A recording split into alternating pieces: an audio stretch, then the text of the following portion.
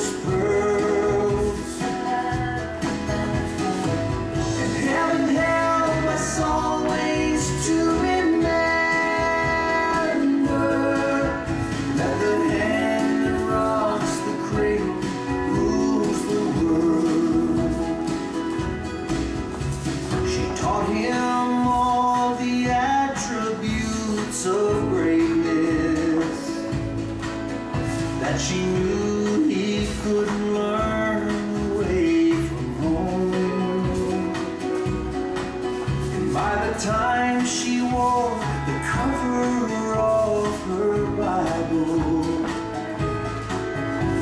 Her hair was gray and her little man was gone. There ought a hall of fame for mamas. Creation's most unique and precious.